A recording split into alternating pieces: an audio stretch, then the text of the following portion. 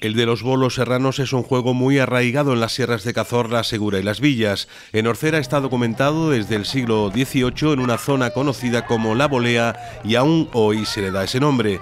Este deporte autóctono estuvo a punto de desaparecer, pero fue un orcereño, Santiago González, quien recuperó la tradición oral y logró que en 1969 se organizara el primer campeonato comarcal de bolos serranos que se sigue celebrando hasta nuestros días. En este momento ahora mismo eh, tenemos en, toda España, porque hay clubes también en la comunidad valenciana de, de inmigrantes de aquí procedentes de esta sierra, eh, tenemos unas 500, 600 licencias a nivel nacional, de las cuales eh, unas 250 son de menores de 16 años, que ese es precisamente el campo donde más estamos trabajando, en las categorías base, para asegurar que esto tenga futuro. Para asegurar ese futuro hay ya un presente esperanzador. La mujer se ha incorporado a su práctica. En este caso, este grupo pertenece a Calonge, pedanía de la localidad cordobesa de Palma del Río, a donde en 1950 emigraron 41 familias de la aldea de Bujaraiza al quedar inundadas sus tierras por el pantano del Tranco. Pues desde chiquitita, porque allí siempre se ha jugado a los bolos, siempre ha sido las personas mayores las que se fueron de aquí de Jaén, pero a día de hoy se está incorporando más gente, se están incorporando más jóvenes, mujeres, los niños y tenemos un club bastante amplio.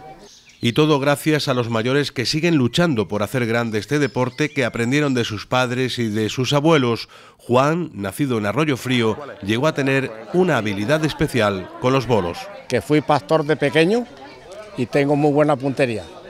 Y desde el 2002 he sido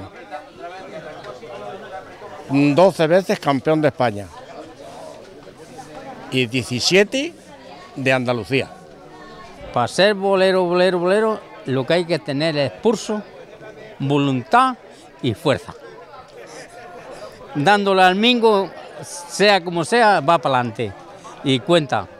En la actualidad la bola es una esfera hecha con teflón y su tamaño varía según la mano del jugador. Antiguamente se hacía de madera.